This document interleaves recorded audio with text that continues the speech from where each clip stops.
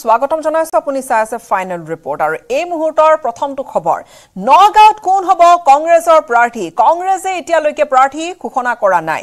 এই মুহূৰ্তত এইটো হৈ পৰিছে এটা লাখ টকীয়া প্ৰশ্ন যে কংগ্ৰেছে টিকট দিব কাক? নগাঁৱত। কংগ্ৰেছ নেতৃত্বই এই প্ৰশ্নৰ উত্তৰ দিয়াৰ সলনি পৰখ কৰাৰ প্ৰয়াস কৰিছে বিজেপি প্ৰাৰ্থী সুৰেশ বৰাক। আৰু টিকটৰ বাবে টনা আজোৰা চলাই থকা সাংসদ প্ৰদ্যুৎ বৰদলৈয়ে সুৰেশ বৰা সম্পৰ্কে আমাৰ নগাঁও ব্যুৰ নীলোৎপল বৰাৰ আগত কৰিলে কেইবাটাও তাৎপৰ্যপূৰ্ণ মন্তব্য। সেয়া প্ৰথমে আপোনালোকক শুনাই ল'বলৈ বিচাৰিম। সাংসদ প্ৰদীপ ডাঙৰীয়া আছে আৰু তেওঁৰ সমৰ্থকসকলে আজি আহি পেলাই তেওঁক আদৰণি জনাইছে আৰু যি এক আশংকা আছিলে নগাঁও লোকসভাত প্ৰাৰ্থী সলনি হ'ব সেই সকলো কথা বতৰা যেন অৱসান ঘটিছে আৰু পুনৰ নগাঁও লোকসভাৰ প্ৰদ্যুৎ বৰদলৈ টিকট লাভ কৰাটো প্ৰায় নিশ্চিত হৈছে। আমাৰ লগত আপোনাক আপুনি আমাৰ লগত আছে। আৰু এটা কথা আমি আপোনালোকক জানিব চেষ্টা কৰিম। প্ৰায় বহুদিন আমি দিল্লীত আছিলে মাজতে। আজিৰ পৰা দুদিন পূৰ্বলৈকে। নহয় নহয় মই বিয়া খাবলৈ গৈছিলোঁ। মোৰ বন্ধু কেইবাজনো সাংসদ মোৰ আমাৰ লগত বন্ধুত্ব হৈ গ'ল নহয় পাৰ্লিয়ামেণ্টত তাৰে দুজনৰ এজনটো আমাৰ কংগ্ৰেছ দলৰ জেনেৰেল ছেক্ৰেটেৰী ৰণদীপ সিং সূৰ্যেৱালা। তেওঁৰ ল'ৰাৰ বিয়া আছিলে মাতিছিলে বিয়া খাবলৈ গৈছিলোঁ। ঠিক তেনেকৈ আন এজন মোৰ বন্ধু বেলেগ ৰাজনৈতিক দলৰ তেওঁৰো ছোৱালীৰ বিয়া। গতিকে বিয়া বাৰু খাই আৰু অলপ ব্যক্তিগত কাম আছিলে দিল্লীলৈ গৈছিলো। পৰিৱেশটো সলনি হৈছে মই নাজানো পৰিৱেশ সলনি কি আৰু? আমাৰ আমাৰতো চলি আছে তেনেকে। আজি আপোনাৰ প্ৰায় এবছৰ প্ৰায় এবছৰ ধৰি নগাঁও লোকসভাৰ প্ৰাৰ্থিত্বক লৈ এখন শীতল যুদ্ধ চলি আছে। আপোনালোকে দলীয় কাৰণত আপোনালোকে স্বীকাৰ নকৰিব কিন্তু আমি আমাৰ যি খবৰ আছে তিনিগৰাকী সংখ্যালঘু বিধায়কে পত্ৰ প্ৰেৰণ কৰিছিলে। এগৰাকী প্ৰাক্তন মন্ত্ৰীয়ে যথেষ্ট ষড়যন্ত্ৰ কৰিছিলে। আনকি সাংবাদিকৰ বিৰুদ্ধেও তেওঁ মন্তব্য কৰিছে। এই সকলো ষড়যন্ত্ৰৰ অৱসান ঘটি অৱশেষত আপুনি টিকেট লাভ কৰাৰ দিশত আগবাঢ়িছে। কি ক'ব এই ক্ষেত্ৰত? এইবিলাক কথা মই ভাবো যে এইবিলাক যিবিলাক কথা তুমি কৈছা সেইবিলাক কথাৰ কোনো প্ৰাসংগিকতা নাই। কাৰণ মই নাভাবো যে আমাৰ ইয়াত কিবা শীতল যুদ্ধ হৈছে আমি সকলোৱে এনেকে চাৰ্টৰ একেবাৰে এইবিলাক কুচাই মেলি কিবা যুদ্ধত অৱতীৰ্ণ হৈছো তেনেকুৱা একো নাই। এটা গণতান্ত্ৰিক প্ৰক্ৰিয়া আমাৰ দলৰ এটা গণতান্ত্ৰিক প্ৰক্ৰিয়া সেইটো সদায় চলি থাকে যে নিৰ্বাচনৰ আগতে প্ৰাৰ্থিত্ব বিচাৰি যিকোনো মানুহে আমাৰ একেবাৰে দলীয় তৃণমূল পৰ্যায়ৰ পৰা ওপৰৰ নেতালৈকে সকলোৱে দৰখাস্ত দিব লাগে। সেইটো এটা প্ৰক্ৰিয়া আৰু সেই প্ৰক্ৰিয়াৰ অন্তত নগাঁও লোকসভা সমষ্টিটো তেনেকে কোনোবাই কোনোবাই কেইবাজনেও তেনেকে দৰখাস্ত দিছিলে আৰু তাত অস্বাভাৱিকতা একো নাই আৰু এইটো বৰঞ্চ এটা বৰ গণতান্ত্ৰিক প্ৰক্ৰিয়া সেই গণতন্ত্ৰ তেনেকুৱা ধৰণৰ গণতন্ত্ৰ মই নাভাবো অইন কোনোবা ৰাজনৈতিক দলত আছে বুলি এতিয়া সাত তাৰিখে প্ৰাৰ্থী তালিকা ঘোষণা হোৱাটো প্ৰায় নিশ্চিত আপোনালোকৰ নহয় নহয় আমাৰ আমাৰ কংগ্ৰেছ দলৰ এখন সৰ্বোচ্চ কমিটি আছে সেইখনক চেণ্ট্ৰেল ইলেকশ্যন কমিটি বুলি কয় চেণ্ট্ৰেল ইলেকশ্যন কমিটিৰ বৈঠক হলে বৈঠকত তেওঁলোকে সৰ্বোচ্চ সেই কমিটিয়ে তেওঁলোকে সেইটো নিৰ্ধাৰণ কৰে আৰু নিৰ্ধাৰণ কৰি পেলাই সেইটো ঘোষণা কৰে। নাই নাই চি মই জনাত একো হোৱা নাই। মইতো সমষ্টিতে আছো গতিকে মই জনাত নাই হোৱা। আৰু সেইটো স্বাভাৱিকতে এইটো দুই এসপ্তাহৰ ভিতৰতে এইটো হ'ব লাগিব কাৰণ নিৰ্বাচনৰ যেতিয়া প্ৰক্ৰিয়া সেই প্ৰক্ৰিয়াটো সম্পূৰ্ণ হ'ব। মই ভাবো যে চাৰি পাঁচ দিনৰ ভিতৰতে তেনেকুৱা বৈঠক ঘটিব আৰু তেওঁলোকে দলে সেইটো আনুষ্ঠানিকভাৱে নিৰ্ধাৰণ কৰিব আৰু ঘোষণা কৰিব। আজি আপোনালোকৰ ইতিমধ্যে বিজেপিয়ে প্ৰাৰ্থী তালিকা ঘোষণা কৰিছে। হয়তো বাৰৰ পৰা পোন্ধৰ তাৰিখৰ ভিতৰত নিৰ্বাচনী অধিৱেশন জাৰি হ'ব। গতিকে প্ৰাৰ্থী তালিকাত যি কংগ্ৰেছে ঘোষণা কৰা দেৰি কৰি আছে আপোনালোকৰ সময় যথেষ্ট কমি যাব। নহয় দলৰ মইতো কৈছোৱে এটা বৰ দীঘলীয়া প্ৰক্ৰিয়া। আমাৰ একেবাৰে তৃণমূল পৰ্যায়ৰ পৰা সেইটো প্ৰক্ৰিয়া আৰম্ভ হয়। একেবাৰে শেষত গৈ এনেকুৱা এটা এটা এটা স্তৰত সেইটো হয়। এতিয়া মাত্ৰ সৰ্বোচ্চ যিখন আমাৰ কমিটি আছে আমাৰ দলৰ ভাৰতীয় জাতীয় কংগ্ৰেছৰ তেওঁলোকে সেই বহি আনুষ্ঠানিকভাৱে সিদ্ধান্ত ল'ব। আৰু সেইটো নটিফিকেশ্যন দিয়াই হোৱা নাই কেতিয়া ইলেকশ্যন হ'ব তাৰিখবিলাকো আমাৰ এতিয়ালৈকে আমি গম পোৱা নাই। গতিকে আমাৰ হাতত একেবাৰে সময় নোহোৱাও নহয় নিশ্চয় অতি সোনকালে কমিটিয়ে বৈঠকত কৰি সিদ্ধান্ত গ্ৰহণ কৰিব। শেহতীয়াকৈ যিখন প্ৰাৰ্থী তালিকা আমাৰ সংবাদ মাধ্যমত আহি পৰিছে সম্ভাৱ্য প্ৰাৰ্থী তালিকা সেইমতে সেই অনুসৰি আপুনি নগাঁও প্ৰতিদ্বন্দ্বিতা কৰিব আৰু গৌৰৱ গগৈ যোৰহাটত কৰিব। আপোনালোকে এতিয়া ধৰণৰ কোনো ধৰণৰ আনুষ্ঠানিক দলে ঘোষণা কৰা নাই বা দলে নিৰ্ধাৰণো কৰা নাই। গতিকে তোমালোকৰ মিডিয়াততো যিকোনো বস্তু উলিয়াই থাকা আজি কাৰোবাক সলনি কৰিলা অইন কাৰোবাজনৰ নাম দিলা তোমালোকে যি ইচ্ছা কৰা তোমালোকৰ কল উৰ্বৰ মস্তিষ্কৰ কল কল্পনাৰ প্ৰসূত প্ৰসূতভাৱে তোমালোকে বহুত ধৰণৰ কথা সাল সলনি কৰি দিয়া। গতিকে সেইবিলাক কথাত মই কোনো মন্তব্য দিয়া প্ৰয়োজন বুলি মই নাভাবো। আমি যেতিয়া আপুনি বিজেপি যাব বুলি ওলাইছিলে তেতিয়া আমি আমি বাতৰি সম্প্ৰচাৰ কৰিছো যে প্ৰদ্যুৎ বৰদলৈ কোনো কাৰণতে বিজেপিত যোগদান নকৰে। আৰু এতিয়া বিজেপি প্ৰাৰ্থীও ঘোষণা হ'ল যোগদান কৰাৰ প্ৰশ্নই নুঠে। আৰু প্ৰাৰ্থীগৰাকীও যথেষ্ট আপোনাৰ আগৰ ঘনিষ্ঠ এগৰাকী ব্যক্তি। গতিকে নিৰ্বাচনী আকৰ্ষণীয় হ'ব। প্ৰথম কথা হ'ল মই বিজেপিলৈ যোৱাৰ কোনো প্ৰশ্নই উঠিব নোৱাৰে সেইটোহে তোমালোকৰ মেডিয়াই সেইবিলাক বস্তু ৰোপণ কৰিছিলে মানুহৰ মাজত বিভ্ৰান্তিৰ সৃষ্টি কৰিছিলে আৰু বিশেষকৈ আটাইতকৈ ডাঙৰ কথা এইটো এটা ৰাজনৈতিক মানে উদ্দেশ্য প্ৰণোদিত সেইটো এটা কৌশল তোমালোকৰ মেডিয়াৰ যোগেদি কৰি দিয়া যাতে? আমাৰ? নহয় মই এইটো কথা কৈছো তোমালোকৰ মেডিয়াৰ যোগেদি হয়তো আৰু এইটোৰ উদ্দেশ্য আছিলে যাতে আমাৰ দলীয় কৰ্মীবিলাক প্ৰত্যেকটো ক্ষেত্ৰতে। তেওঁলোকৰ যাতে মনোবল হ্ৰাস হয়। তেওঁলোকে যাতে বিভ্ৰান্তিত ভোগে। যাতে তেওঁলোকে কিং কৰ্তব্য বিমূৰ হৈ যায়। কি হ'ব কি নহ'ব। আৰু এনেকুৱা ধৰণৰ ৰাজনৈতিক কৌশল আমাৰ প্ৰতিপক্ষ বিশেষকৈ বিজেপি দলে তোমালোকৰ জৰিয়তে কৰে। গতিকে মই বাৰে বাৰে কৈ আছো আৰু মইতো আৰু হনুমান নহয় যে মই বুকু ফেলি বাৰে বাৰে মই কৈ থাকিম তোমালোকে প্ৰত্যেকবাৰে কৈ থাকা মই বিজেপিত যাম। কিন্তু মই এটা কথা তেতিয়াৰ পৰা প্ৰথমৰ পৰাই স্পষ্ট কৰিছো যে মজ্জাগতভাৱে মই এজন কংগ্ৰেছ দলৰ কংগ্ৰেছ দলৰ কৰ্মী আৰু মই ষোল্ল বছৰ বয়সৰ পৰা কংগ্ৰেছ কৰিছো। গতিকে মই বিজেপিলৈ যোৱাৰ প্ৰশ্ন নুঠে। আৰু সেয়া প্ৰদ্যুৎ বৰদলৈৰ কিছু মন্তব্য এক্সক্লুচিভ সেয়া সাক্ষাৎকাৰ ইতিমধ্যে আপোনালোকৰ বাবে আগবঢ়ালো। আন কিছু খবৰ। চলিত বৰ্ষৰ একত্ৰিশ ডিচেম্বৰত মুকলি হ'বলৈ গৈ আছে গুৱাহাটী উত্তৰ গুৱাহাটী সংযোগী দলংখন আৰু এই কথা জনাইছে মুখ্যমন্ত্ৰী ডক্টৰ হিমন্ত বিশ্ব শৰ্মাই অৰ্থাৎ অপেক্ষা চলিত বৰ্ষৰ একত্ৰিশ ডিচেম্বৰলৈকে অৰ্থাৎ মাজত আৰু এই কেইটামান মাহ চলিত বৰ্ষৰ একত্ৰিশ ডিচেম্বৰত মুকলি হ'ব গুৱাহাটী উত্তৰ গুৱাহাটী সংযোগী দলংখন। ইতিমধ্যে সম্পূৰ্ণ হৈছে। গুৱাহাটী উত্তৰ গুৱাহাটী সংযোগী দলঙৰ প্ৰায় পঁচাশী শতাংশ কাম এলিভেটেড কৰিডৰ মুকলি কৰিলেই ইতিমধ্যে মুখ্যমন্ত্ৰীগৰাকী আৰু এলিভেটেড কৰিডৰ সেই অংশখিনি মুকলি কৰিয়েই ভূটনাথৰ পৰা মাছখোৱাৰ মাজত মুখ্যমন্ত্ৰী ডক্টৰ হিমন্ত বিশ্ব শৰ্মাই কৰিলে এই গুৰুত্বপূৰ্ণ ঘোষণা। লৈকে ইঞ্জিনিয়াৰসকলৰ লগত কথা পাতিম যে আকৌ আমি লাচিত ঘাটৰ পৰা শুক্লেশ্বৰ মন্দিৰৰ পিছেদি চিফ জাষ্টিছৰ পিছেদি বা আমাৰ ব্ৰহ্মপুত্ৰ হেৰিটেজ চেণ্টাৰৰ পিছেদি লৈ গৈ আমি বালভৱনত গৈ থিয় কৰাই দিব পাৰোঁ নেকি? তাতো তেনেকুৱা এটা আমি যদি কৰিব পাৰোঁ তেতিয়াহ'লে শুক্লেশ্বৰৰ পৰা উজান বজাৰ পাৰ্টটো নোহোৱা হৈ যাব আৰু তাত যদি আমি ৱাকিং ফুটপাথ ৰাখিব পাৰোঁ। এইখন দলঙত ফুটপাথ নাই। সেইখনত যদি আমি ফুটপাথ ৰাখিব পাৰোঁ তেতিয়া মানুহে গধূলি খোজকাঢ়ি খোজকাঢ়িও নান্দনিক দৃশ্য উপভোগ কৰিব পাৰিব। এতিয়া নোৱাৰোঁ। ঊনত্ৰিছত যেতিয়া বা ছাব্বিছত যেতিয়া বিজেপি চৰকাৰ আকৌ উভতি আহিব তেতিয়া এইটো পৰিকল্পনা কৰিম এইকেইদিন নকৰোঁ। ডিচেম্বৰ।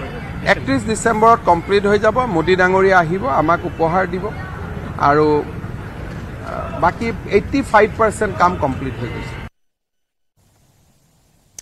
আৰু মহানগৰীত এলিভেটেড কৰিডৰ মুকলি কৰি নিজে গাড়ী চলালে আজি মুখ্যমন্ত্ৰী ডক্টৰ হিমন্ত বিশ্ব শৰ্মা। আৰু তাৰে কিছু দৃশ্য আপোনালোকক দেখুৱাবলৈ বিচাৰি মুখ্যমন্ত্ৰীৰ কাষত বহিল পত্নী ৰিণুমিয়া শৰ্মা। অপত্নীক আজি এই মুকলি অনুষ্ঠানত উপস্থিত হৈছিলে। আৰু আজি ভূটনাথৰ পৰা মাছখোৱালৈকে মুখ্যমন্ত্ৰীয়ে মুকলি কৰিলে এলিভেটেড কৰিডৰ আৰু সেইচোৱা বাটেৰে মুখ্যমন্ত্ৰীয়ে নিজে বাহনখন চলাই গ'ল। নিজে গাড়ী চলাই গ'ল মুখ্যমন্ত্ৰী। পত্নীৰ সৈতে চালকৰ আসনত মুখ্যমন্ত্ৰীগৰাকী আৰু হয়তো খুব কমেই এনেকৈ মুখ্যমন্ত্ৰীগৰাকীক দেখা গৈছে। মুখ্যমন্ত্ৰীগৰাকীয়ে নিজে বাহনখন চলাই আগবাঢ়িল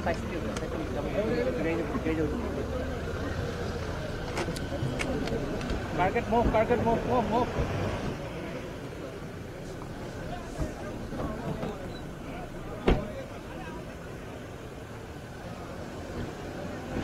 ভূটনাথৰ পৰা মাছখোৱালৈকে এলিভেটেড কৰিডৰ আৰু এই এলিভেটেড কৰিডৰ চোৱাই আমি পুনৰবাৰ সেই দৃশ্যটো দেখুৱাইছোঁ। এই এলিভেটেড কৰিডৰ চোৱা যি মুখ্যমন্ত্ৰীগৰাকীয়ে আজি মুকলি কৰিলে এইখিনি অংশই যান জঁটৰ সমস্যা কিন্তু কিছু কমাব বুলি কোৱা হৈছে কিয়নো এই গোটেই পথটোৱে এটা অংশৰ পৰা যি যান বাহনসমূহক নৈৰ পাৰেৰে লৈ যাব বা তেনেকুৱা এটা যিহেতু পথ মুকলি কৰা হৈছে আৰু আনখন যি মূল দলংখন সেই দলংখনৰ প্ৰায় পঁচাশী শতাংশ কাম সম্পূৰ্ণ হৈ গৈছে বুলি মুখ্যমন্ত্ৰীয়ে কৈছে। মাজত এই কেইটামান মাহ আৰু এই মুহূৰ্তত দৃশ্য দেখুৱাইছো মুখ্যমন্ত্ৰীগৰাকী নিজে চালকৰ আসনত বহি তেওঁ নিজে গাড়ীখন চলাই লৈ গৈছে। তেওঁৰ বাহনখন তেওঁ নিজে চলাই লৈ গৈছে সপত্নীক নিজে সেই বাহনখন তেওঁ চলাই গৈছে। কাষত মুখ্যমন্ত্ৰীগৰাকীৰ পত্নীকো দেখা গৈছে তেওঁৰ সহধৰ্মিনীক দেখা গৈছে। আৰু এই অনুষ্ঠান মুকলি কৰাৰ পিছতে মুখ্যমন্ত্ৰীগৰাকীক এইধৰণে দেখা গৈছিলে। এই এলিভেটেড কৰিডৰৰ অংশ চোৱা মুখ্যমন্ত্ৰীগৰাকীয়ে নিজে মুকলি কৰাৰ পিছতে নিজে বাহন চলাই গ'ল এই এলিভেটেড অংশ চোৱাৰে।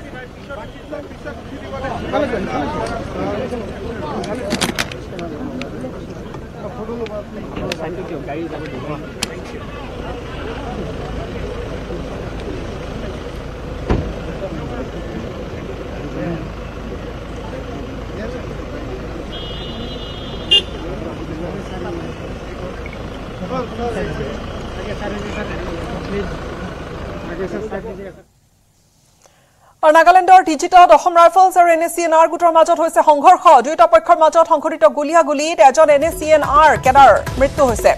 N S C N R গোটৰ কেডাৰ এজনৰ মৃত্যু ঘটিছে গুলীচালনাৰ ঘটনাত। নাগালেণ্ডৰ টিজিতত পুৰণি চাংচা বস্তিত সংঘটিত হৈছে এই ঘটনাটো। সাতাইছ নম্বৰ ৰাষ্ট্ৰীয় অসম ৰাইফলছৰ সৈতে সাতাইছ নম্বৰ অসম ৰাইফলছৰ সৈতে আছাম ৰাইফলছৰ সৈতে গুলীয়াগুলীৰ ঘটনা ঘটিছিল য'ত এজন এন এছ চি এনৰ কেডাৰ নিহত হৈছে। আৰু ইয়াৰ লগতে ৱাংলিয়াম ৱাংচু নামৰ এজন কেডাৰক আটক কৰা হৈছে। আজি পুৱাৰ ভাগত সংঘটিত ঘটনাৰ পাছতে ঘটনাস্থলীত বুজন পৰিমাণৰ মাৰণাস্ত্ৰৰ লগতে আপত্তিজনক নথি পত্ৰ আৰু মোবাইল ফোন উদ্ধাৰ কৰা হৈছে।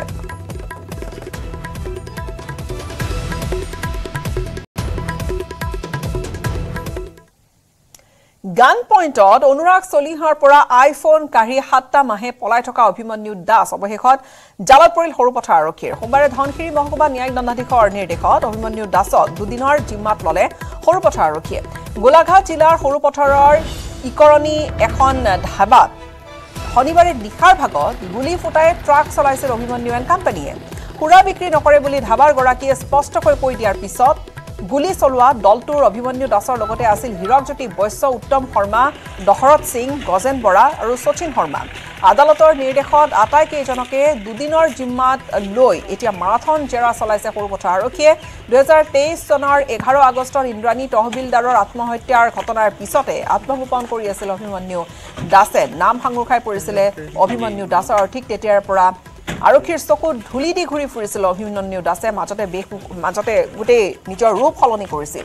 প্ৰকৃততে অনুৰাগ চলিহাৰ মূৰত পিষ্টল টোৱাই আইফোনটো কাঢ়ি অনাৰ কেইটামান দিনৰ পিছতে চৰম পথ বাছি লৈছিল ইন্দ্ৰাণী তহবিলদাৰে। অনুৰাগৰ আইফোনটোৰ পৰা ভাইৰেল হোৱা কেইখনমান আপত্তিজনক ফটোৰ বাবে চৰম পথ বাছি লোৱা ইন্দ্ৰাণী কাণ্ডৰ গোচৰটো চানমাৰী আৰক্ষীয়ে জিম্মাত বিচাৰিব। অনিৰুদ্ধ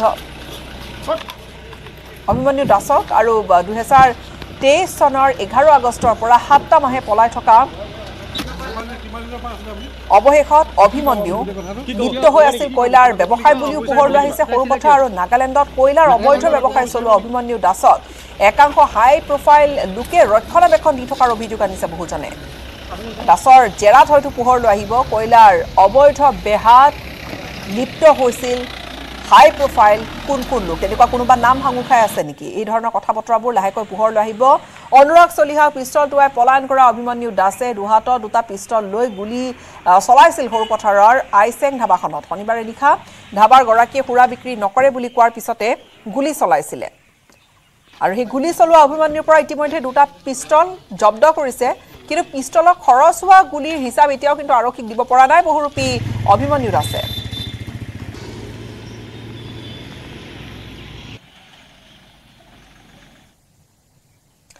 আৰু মাজুলীত এশিঙীয়া গড়ৰ আকৌ মুক্ত বিচৰণৰ ঘটনা যোৱা কেইবামাহো ধৰি চাৰিটাকৈ গড়ে মাজুলীৰ বিভিন্ন স্থানত ঘূৰি ফুৰিছে বিচৰণ কৰি আছে। বন বিভাগে গড়কেইটা কাজিৰঙালৈ খেদি পঠিওৱাত বিফল হৈছে। বাৰে বাৰে মাজুলীৰ পোহাৰদিয়া গাঁওখনত মাজুলীৰ বন বিভাগ আৰু মাজুলী জিলা আৰক্ষীয়ে গাঁওখনত বিচৰণ কৰি থকা গড়ৰ সন্ধানত অভিযান চলায়।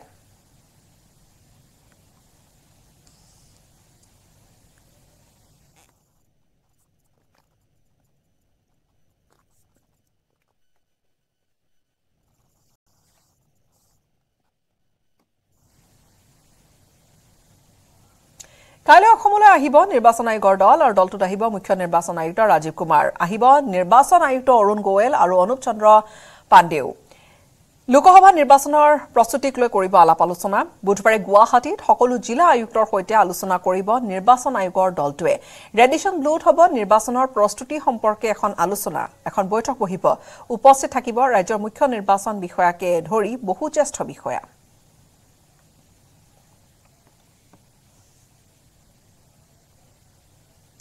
কোন সমষ্টিত প্ৰতিদ্বন্দ্বিতা কৰিব লুৰিণজ্যোতি গগৈয়ে? লুৰিণজ্যোতি গগৈৰ সমষ্টি কি হ'ব ডিব্ৰুগড় নে লখিমপুৰ? নে এই সম্পৰ্কে আচলতে লুৰিণজ্যোতি গগৈক নিমাতে থকাৰ বিপৰীতে সম্ভাৱনাৰ অংকত মিনিটে মিনিটে মতামত দিছে শাসকীয় পক্ষৰ একাধিক নেতাই। গৰম টাৱাৰ পৰা তপত খোলাত জাপ দিলে লুৰিণে। এতিয়া কি হৈছে? From the frying pan to the fire উতলি থকা আপোনাৰ এই টাৱাটোত হে তাৰ পৰা পলাবলৈ বিচাৰি আকৌ জুইতো জঁপিয়াইছে জোনাৰ বিধায়ক ভুৱন পেগুৰ মন্তব্য লুৰিণৰ ৰাজনৈতিক কেৰিয়াৰ শেষ। ডিব্ৰুগড়ৰ পৰা লখিমপুৰলৈ কেৰিয়াৰ শেষ কৰিবলৈ আহিছে হেনো লুৰিণে তেখেতে আৰু নিজৰ কেৰিয়াৰটো একেবাৰে শেষ কৰিবলৈ আহিছে। যোনেই হওক যদি ইয়াত খেলে। নাই নাই শূন্য যদি চেণ্টাৰবোৰত মাৰে তাৰপিছত কি ইজ্জত থাকিব? বহু চেণ্টাৰটো মইতো বাই বেলেগ বেলেগ সমষ্টিকেইটাৰ আপোনালোকে ৰিপৰ্ট লৈ ল'ব। মোৰ সমষ্টিটো মই কৈ দিছোঁ আপোনাক গাৰাণ্টি দিছোঁ বহু চেণ্টাৰত শূন্য মাৰিব। বিৰোধীৰ এজন অন্যতম প্ৰাৰ্থী অসম জাতীয় পৰিষদৰ লুৰিণজ্যোতি গগৈয়ে ডিব্ৰুগড়তেই খেলক বা লখিমপুৰতেই খেলক হৰাটো খাটাং বুলি ক'লে ভুৱন পেগুৱে। এওঁলোকৰ এতিয়া পলাবলৈ ঠাই নাই বুলি কটাক্ষ বিধায়কগৰাকীৰ। ডিব্ৰুগড়ৰ পৰা পলাব বিচাৰি। আকৌ কলৈ জঁপিয়াইছে ডিব্ৰুগড়তকৈও আৰু শক্তিশালী জেগা এটাত। শূন্য হ'ব লুৰিণ। কংগ্ৰেছৰ বুকুচাত উঠি নিৰ্বাচন খেলিলে বহু চেণ্টাৰত শূন্য হ'ব লুৰিণ। এই কংগ্ৰেছৰ বুকুচাত উঠি লুৰিণে যদি আকৌ ইয়াত ইলেকশ্যন খেলে মই ভাবোঁ যে বহুত চেণ্টাৰত শূন্য হ'ব। বিজেপি সাংসদ তথা প্ৰাৰ্থী প্ৰদান বৰুৱাৰ মন্তব্য বিৰোধীৰ প্ৰাৰ্থী কোন হয় সেইটো আমাৰ মূৰৰ কামোৰণি নহয়। বিৰোধী প্ৰতিদ্বন্দ্বী কোন হয় সেইটো আমাৰ কনচাৰ্ণ নহয়। কিন্তু আমাৰ কনচাৰ্ণটো হৈছে যে আমাৰ দলটো আমি কেনেকুৱা ধৰণকে প্ৰস্তুত কাৰণ আমাৰ সকলো কৰ্মকৰ্তাক কেনেধৰণে আমি মানে মানে উৎসাহিত কৰিব পাৰোঁ মানে মানে মটিভেশ্যন কৰিব পাৰোঁ সেইটোহে আমাৰ কনচাৰ্ণ আনহাতে বিৰোধী দলক তোলা ধূনা দিলে মন্ত্ৰী পীযুষ হাজৰিকায়ো আমাৰ প্ৰাৰ্থী তালিকা প্ৰকাশৰ পাছতে বিৰোধীয়ে ছত্ৰভংগ দিছে বুলি মন্তব্য কৰিলে পীযুষ হাজৰিকা। তেওঁলোকৰ মাজত কনফিডেঞ্চ নাই। তেওঁলোকৰ বিশ্বাস নাই যে তেওঁলোকে ক'ৰবাত সমষ্টিত ইলেকশ্যন জিকিব পাৰে। এটা কথা মই ক'ব খোজোঁ লখিমপুৰেই হওক ডিব্ৰুগড়েই হওক যোৰহাটেই হওক শোণিতপুৰেই হওক য'তেই নাযাওক এই দলবিলাকৰ কোনো নিষ্ঠাৰ নাই। তেওঁলোক নিজিকে আমাৰ দল প্ৰায় প্ৰত্যেকটো সমষ্টিতে জিকিব। ক'ত আমি নিজিকো সকলোৱে জানেও কিন্তু আমি প্ৰায় প্ৰত্যেকটা সমষ্টিতে জিকিম। কিন্তু তেওঁলোকে এটা বা দুটাতে ক'ৰবাত কনচেনট্ৰেট কৰি বহি আছে। মানে বাকীবিলাক সমষ্টিত কি আছে? নৰেন্দ্ৰ মোদী আছে। বাকীবিলাক সমষ্টিত কোন আছে? বিজেপি আছে। বাকীবিলাক সমষ্টিত কোন আছে? হিমন্ত বিশ্ব শৰ্মা ডাঙৰীয়া আছে। বাকীবিলাক সমষ্টিত কোন আছে? বিজেপিৰ এ জি পিৰ ইউ পি পি এলৰ গণশক্তিৰ কাৰ্যকৰ্তা আছে। গতিকে তেওঁলোকে আমাৰ লগত নোৱাৰে।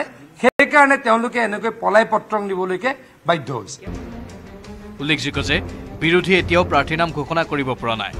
সাংসদ দিলীপ শইকীয়াৰ মতে বিৰোধীয়ে সিদ্ধান্ত লওঁতে লওঁতে হয়তো নিৰ্বাচনেই পাৰ হৈ যাব। তেওঁলোকৰ আকৌ বহুত দল বহুত নহয়। দলৰ আকৌ তেওঁলোকৰ ভোট কমিটিও বনোৱা নাই। সেইবিলাক বনাব লাগিব। সেইবিলাক বনাওঁতে অলপ সময় লাগিব। বোধহয় ইলেকশ্যনটো পাৰ হৈ যাব। তেতিয়ালৈকে ভোট কমিটিবিলাক হ'ব। ধন্যবাদ। ধেমাজিৰ পৰা মন বিকাশ বৰগোহাঁইৰ সহযোগত Hirakjyoti Malakar news eighteen Assam north east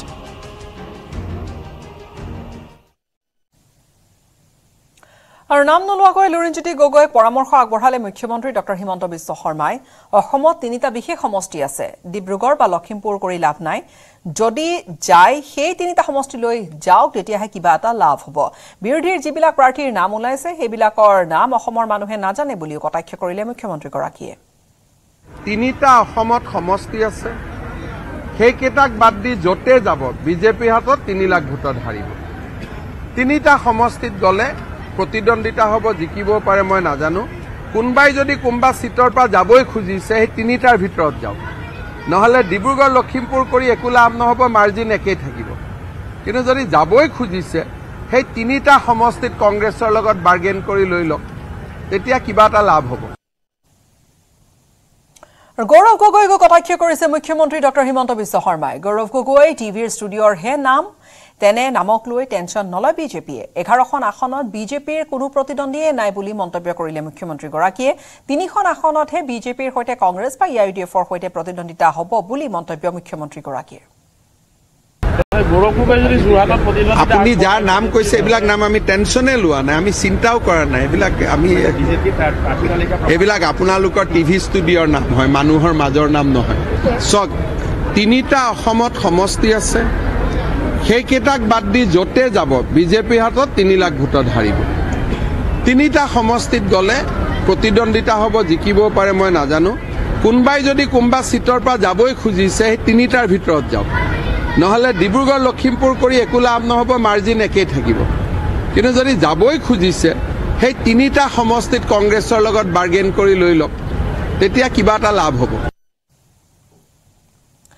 আৰু চিপাঝাৰৰ নআলিত ভূমিকেন্দ্ৰিক সংঘাত দুটা ফৈদৰ সংঘাতত দুটা ফৈদৰ সংঘাতত গুৰুতৰভাৱে আহত হৈছে তিনিজনকৈ লোক। এটুকুৰা ভূমিক লৈ দুই ভাতৃৰ মাজত হৈছিল সংঘাত। আহত মহৰুম আলী আনৰি বেগম আৰু মিনহাজুল হক। আলাউদ্দিন হক আৰু তেওঁৰ পৰিয়ালৰ বিৰুদ্ধে উঠিছে অভিযোগ। জোং বাহ লৈ আক্ৰমণ কৰিলে তিনিজন লোকক। মহৰুম আলীৰ নামত থকা ভূমি আলাউদ্দিনে দখল কৰিবলৈ অহাৰ অভিযোগ। আহতসকলক চিপাঝাৰ সামূহিক স্বাস্থ্য কেন্দ্ৰত ভৰ্তি কৰোৱা হৈছে। চিপাঝাৰ নআলিত এই ভূমিকেন্দ্ৰিক সংঘাত দুটা ফৈদৰ মাজত লাগিল সংঘাত। গুৰুতৰভাৱে আহত হৈছে তিনিজন। এটুকুৰা ভূমিক লৈ দুই ভাতৃৰ মাজত সংঘাত হৈছিল। আহত হৈছে মহৰম আলী আনৰি বেগম আৰু মিনহাজুল হক। মোৰ বাবা মা আৰু সৰু ভাইটিক। মোৰ দেউতাৰ নামৰ মাটি এডোখৰত তেওঁলোকে দেউতাৰ মাটিখিনিত দেউতাই খেতি কৰিব গৈছে। যোৱাৰ পিছত দেউতাৰ ভায়েক এজনে আৰু দুজন ল'ৰা তিনিজনে লগ লাগি আহি কেনে মা দেউতা আৰু ভাইটিক বহুত বেয়াকৈ প্ৰহাৰ কৰে। তাৰ ফলত মাৰ ইয়াতে বুকৰ হাৰি হাত ভাঙিছে হাত ভাঙিছে দেউতাৰ হাত ভাঙিছে তাৰপিছত দেউতাৰ ইয়াতে ভৰিত সাপাৰ মাৰিছে জোং মাৰিছে সিহঁতে। তাৰপিছতে মাথাত ফাটিছে ভাইটিৰ মাথা ফাটিছে।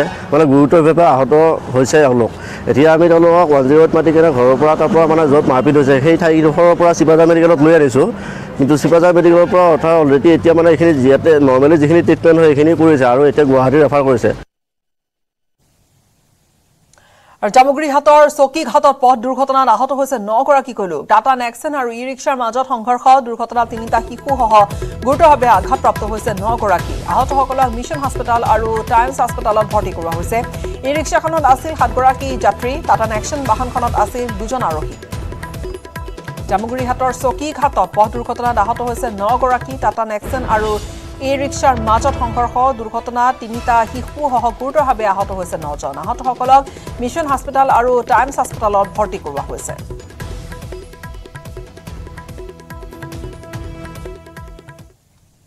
লখিমপুৰত শোকাবহ ঘটনা ৰেলৰ খুন্দাত বন্যহস্তীৰ মৃত্যু ঘটিছে। দুলং সংৰক্ষিত বনাঞ্চলখনত ঘটনা। ঘটনা কেন্দ্ৰ কৰি অঞ্চলটোত যথেষ্ট প্ৰতিক্ৰিয়া দেখা গৈছে। আন এক শোকাবহ ঘটনা ৰেলৰ খুন্দাত বন্যহস্তীৰ মৃত্যুৰ ঘটনা লখিমপুৰত এই শোকাবহ ঘটনা ৰেলৰ খুন্দাত বন্যহস্তীৰ মৃত্যু দুলং সংৰক্ষিত বনাঞ্চলত এই ঘটনা ঘটিছে। ইয়াৰ পিছতে সিহঁতে ট্ৰেইনখন হাণ্ড্ৰেড স্পীডত লৈ আহিছে। আমাৰ আমাৰ ভাইলেট কৰি তেওঁলোকে জোৰ চাই গাড়ীখন লৈ আহিছে ট্ৰেইনখন লৈ আহিছে আহি পেলাই এটা হাতী খুন্দিয়াই মাৰিলে। স্পীড আহিছে আপোনাৰ ষ্টেচনৰ পৰা। তাত আগত মানুহে ফাৰ্ষ্ট মানে ছিগনেল দিছে। ছিগনেল দিয়াৰ ভিতৰতো সিহঁতি গাড়ীখন স্পীড কমোৱা নাই। বিদ্যালয়ত সম্পন্ন হ'ল বিবাহ।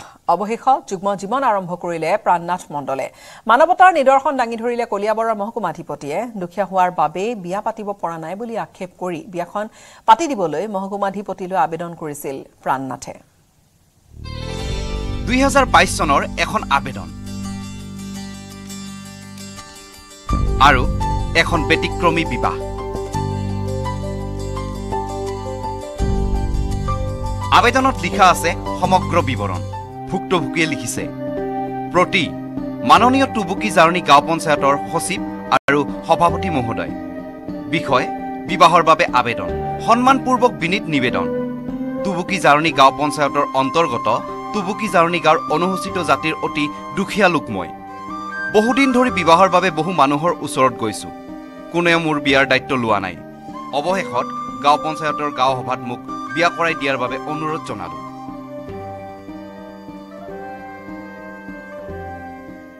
আবেদন দিছে ভুক্তভোগীয়ে গতিকে আবেদন কাৰ্যকৰী নকৰে কেনেকৈ? কথামতেই কাম কইনা বিচৰাত লাগি গ'ল সকলোৱে।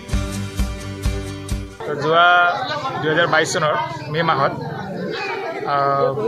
আমাৰ পঞ্চায়তত এনেই সহায় কৰি থাকে আমাৰ প্ৰাণনাথ মণ্ডল বুলি এজন দাদা আছে। তেখেতে হঠাৎ এখন এপ্লিকেশ্যন লৈ আহিছে। তো এপ্লিকেশ্যন মই পঢ়ি চালোঁ ইয়াতে বিয়া কৰাই দিয়াৰ কাৰণে আবেদন। তো মই বস্তুটো বুজি পোৱা নাই। পিছত আমাৰ পঞ্চায়তৰ ৰচদা আছে পিয়ন সুধিলোঁ কি হ'ল? পিছত ক'লে মানুহজনক সদায় চবে কৈ থাকে আপোনাৰ বিয়া কৰাই দিব লাগে। কিন্তু কোনো আৰু বিয়া কৰাই নিদিয়ে। সেইকাৰণে পঞ্চায়তত এপ্লিকেশ্যন দিলে। পিছত ভাবিলোঁ হয় কথাটো ঠিকেই। বিয়াটো যেতিয়া এপ্লিকেশ্যন দিছে আমিতো কাৰ্যকৰী কৰিব লাগিব আমি অফিচিয়েল মানুহ হওঁ। শেষত বিচাৰি পালে কইনা দৰা টুবুকী জাৰণী গাঁও পঞ্চায়তৰ তিনি নং ৱাৰ্ডৰ প্ৰাণনাথ মণ্ডল। ভোৰবন্ধা পঞ্চায়তৰ কইনা। সময় এতিয়া বিবাহৰ। সকলোৱে মিলি নিৰ্দিষ্ট দিন বাৰ ঠিক কৰিলে। শেষত কলিয়াবৰৰ দুই নং ভোৰবন্ধা বীণাবাণী প্ৰাথমিক বিদ্যালয়ত সম্পূৰ্ণ হ'ল বিবাহ।